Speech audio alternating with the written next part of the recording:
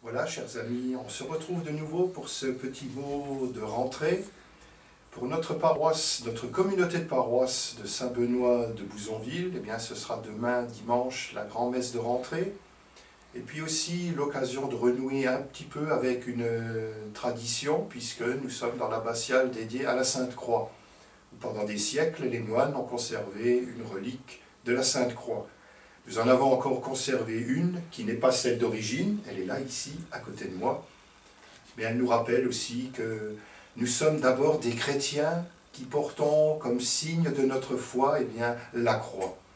Il ne faut jamais perdre de vue que la croix, c'est le passage d'un vendredi saint jusqu'à la gloire de la résurrection le jour de Pâques. C'est pour cela d'ailleurs que cette fête s'appelle la fête de la croix glorieuse croix qui nous rappelle eh bien, la victoire du Christ ressuscité sur la mort et toutes les formes de mort. Et je crois que ça, il faut le redire toujours à nous, chrétiens, que nous passons du vendredi saint au dimanche de Pâques. La deuxième chose que nous allons vivre aussi très fort demain, demain dimanche, c'est que nous allons bénir une icône, une icône qui représente Saint Benoît, le patron de la communauté de paroisse, qui nous rappelle aussi la prière incessante des moines qui sont succédés ici jusqu'à la Révolution. Et une icône, c'est l'image d'un saint ou d'une sainte et qui nous rappelle que nous sommes tous, tous appelés à partager la sainteté de Dieu. Les orthodoxes aiment bien dire que Dieu s'est fait homme en Jésus-Christ pour que l'homme devienne Dieu. Et je crois qu'une icône nous rappelle cela. L'homme deviendra un jour le visage plein, plein, plein de la gloire de Dieu.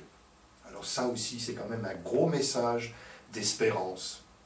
Et puis demain aussi, ça sera l'occasion de relancer une nouvelle année pastorale. Je sais qu'à travers toute la France et puis même ailleurs, eh bien, les chrétiens, les paroisses, les communautés se retrouvent pour relancer les différentes activités, les services, la catéchèse, les sacrements, les messes dominicales et puis revivre une nouvelle année pastorale.